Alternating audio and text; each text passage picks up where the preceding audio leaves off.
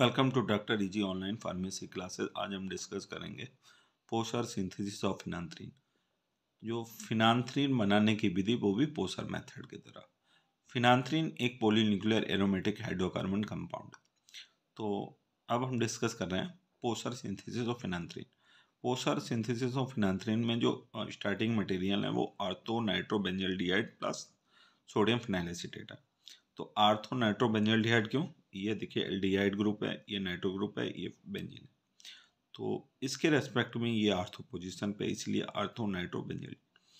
Sodium, ये है देखिए, फिनाइल, ये पार्ला part, acetate C H two C O को बोलते हैं। तो इनके बीच रिएक्शन होती है वो कैसे? इस एल्डिहाइड का ओ और एसीटेट का, ये जो कितना पार्ट है, यहाँ से सी एच टू सी ओ को क्या बोलते हैं? एसीटेट। एसीटेट का एच टू ये दोनों आपस में रिएक्शन करते हैं। ओ और एच टू आपस में रिएक्शन करके क्या निकालते हैं? वाटर तो वाटर निकालने के बाद क्या होता है? इनके बीच डबल बॉन्ड बन जाता है। कैसे? सी एच ये है। ये डबल बॉन्ड बन गया। ये सी एच है। ये वाला सी एच सी सॉरी ये कौन सा है? सी केबल और ये जो ग्रुप है C double O N A ये हाइड्रोलाइज होकर एसिड में कन्वर्ट हो जाता है। ठीक है?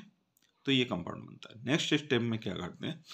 रिडक्शन कराते हैं। वो भी कौन सा? Clemmensen reduction. किसके प्रेजेंस में होता है? Z N H G S C L zinc amalgam plus hydrochloric acid. तो इसमें क्या होता है? नाइट्रो ग्रुप कन्वर्ट हो जाता है अमीनो ग्रुप में। किसमें कन्वर्ट हो जाए? Nitro group in the presence of Clemmensen reducing agent Z N H G plus S C L किसमें कन्वर्ट होता है? अमीनो ग्रुप में। नेक्स्ट स्टेप में क्या होता है? ये amino group in presence of sodium nitrite plus sulphuric acid. Temperature कितना लेंगे? ज़ीरो से फाइव डिग्री के प्रेजेंस में ज़ीरो से फाइव डिग्री टेम्परेचर पे ये अमीनो ग्रुप कन्वर्ट हो जाता है इसमें N two H S O four मतलब ये जो ग्रुप है, वो डाइजो डाइजोटाइज होके कन्वर्ट होते जाता है N two H S O N two क्या है? डाइजो ग्रुप ठीक है? तो इस, ये ग्रुप इसमें कन्वर्ट हो जाते हैं, इसीलिए इस प्रोसेस को बोलते हैं डाइजोटाइजेशन रिएक्शन इस रिएक्शन को क्या बोलते हैं? Diazotization reaction. डाइजो क्यों? क्योंकि ये एन टू जो है, वो डाइजो ग्रुप ठीक है? डाई मतलब दो, एजो मतलब नाइट्रोजन, दो नाइट्रोजन है, एन टू। ठीक? तो इसमें बता दिया, N two, N H two किसमें कन्वर्ट हो गया? एन टू एच एस ये कंपाउंड बन गया। नेक्स्ट स्टेप में क्या होता है? जो आपका डाइजोटाइजेशन करने के बाद जो कंपाउंड बना है, उसको रिएक्शन कराते हैं कॉपर से।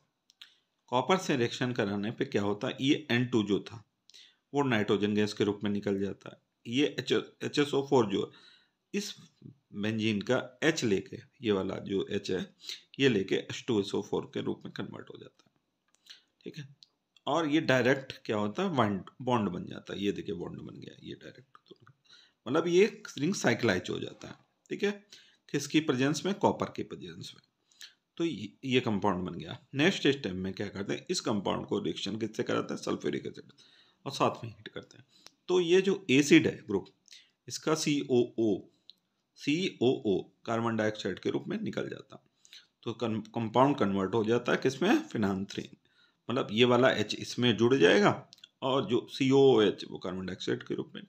तो फाइनल कंपाउंड फिनांथ्रीन बन गया। Thank you